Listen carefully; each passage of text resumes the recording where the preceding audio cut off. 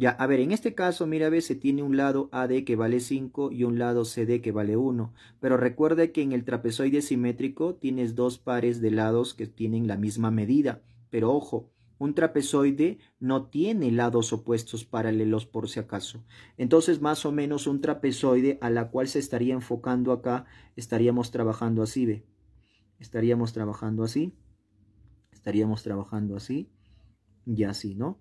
Ya, pues evidentemente, pues para que sea simétrico es que cuando yo trace un segmento de vértice a vértice, lo que está arriba sea igual a lo que está abajo, por si acaso, ¿ya? Muy bien, entonces, eh, dándole sentido, pues justamente este ángulo, este debería valer D, ¿no? Entonces, este es A, este es B y este es C, ¿no? Por lo tanto, tú vale 5, tú vale 1, pero como te dije, el, trapezoide simétrico es cuando tú trazas un segmento de vértice a vértice y la parte de arriba es igual a la parte de abajo. O sea, tú vales 5 y tú vales 1. Pero claramente se ve pues que el ángulo obtuso es este, ¿no? Entonces a este de acá le voy a poner 127, ¿no?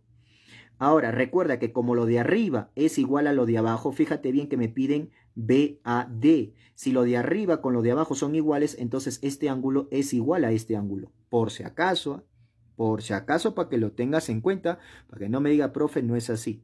Yo te digo, ahí está. Muy bien. Entonces, a ver, profesor, ¿qué podemos hacer por acá? Ya, pues, mira, ve.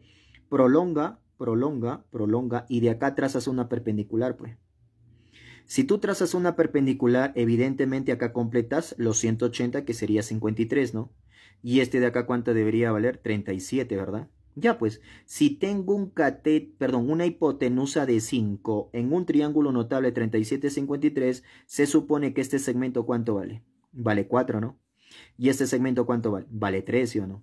Pero mira, ve, si yo me fijo en este triángulo rectángulo, yo tengo un cateto de 4 y un cateto de 4. Significa que este de acá, ¿cuánto vale? 45, ¿sí o no? ¿Listo? Pero profesor, si tengo 37 y tengo 45, ¿este de acá cuánto vale? Vale 8, ¿sí o no?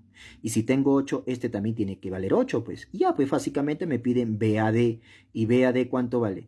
16, ¿no? Entonces la respuesta viene a ser...